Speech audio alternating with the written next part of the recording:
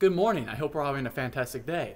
Today, I am doing an arrangement on the hymn, uh, There's a New Name Written Down in Glory.